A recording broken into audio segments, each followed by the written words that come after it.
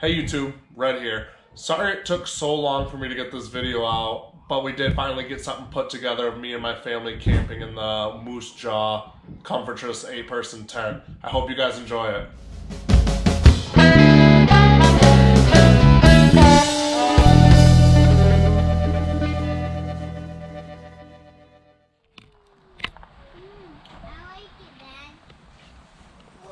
Say hi, Rowan. Hi.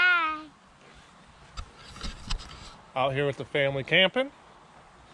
I got my tent set up right here. It is the Moosejaw. I don't remember what it's called.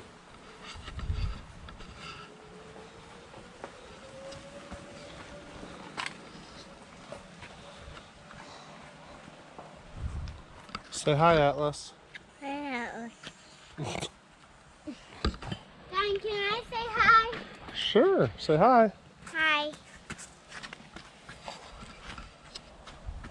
I'm saying hi. It's a pretty large tent. This is the first time we've had it out camping. Um, it works very well.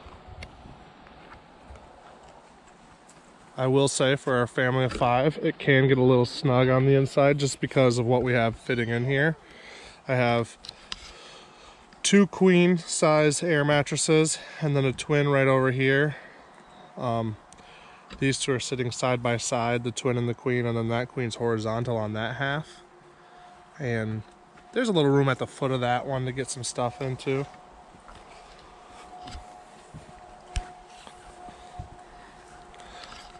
I'll say the one complaint, it's not really a complaint, but something um, that we've thought about is you definitely want both sides of the tent open because on warm nights it's a little stifling. You want a good cross breeze running in here. This does open up right here, but we decided not to do that and we have it opened up on the end here. And we got stuff. Yep, and we got lots of stuff in the vestibule. We laid down a tarp, so this is a whole vestibule thing, as you've seen in my previous video.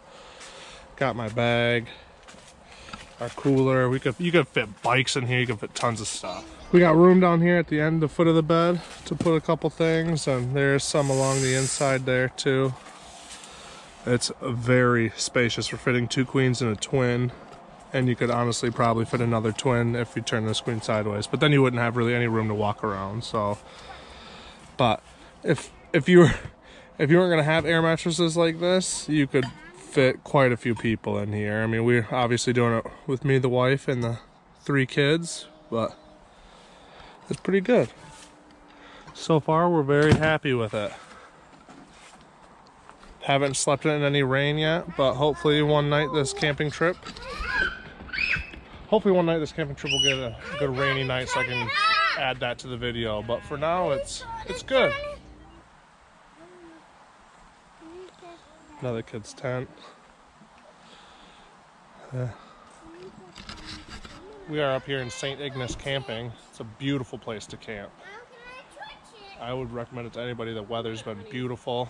We're excited to do more exploring. We're gonna head further north. Yeah, it's been great.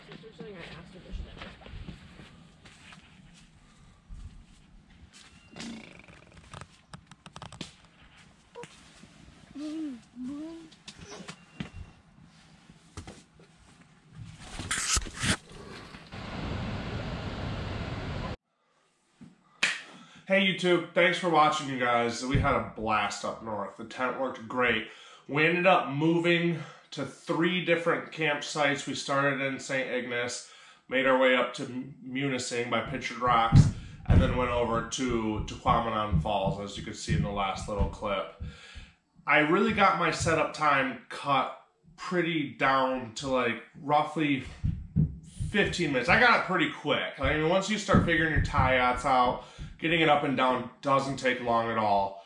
There was a lot, as you can see, there was a bunch of room at the end. Like we had totes in there, we had food totes in the vestibule, still tons of room. We did get a little rain one morning. We all stayed dry. It was fantastic. Like I said, my only complaint would be it would be fun to sleep without the rain fly on because it can get a little warm in there. So just keep that in mind when you're looking at purchasing.